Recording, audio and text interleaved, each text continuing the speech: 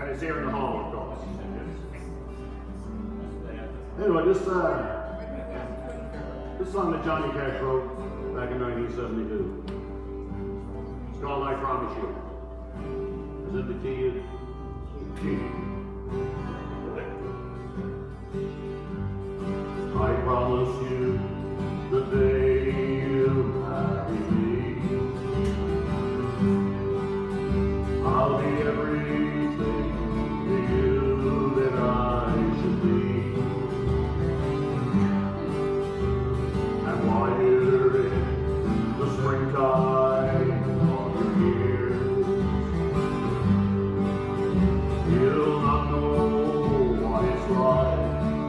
should care.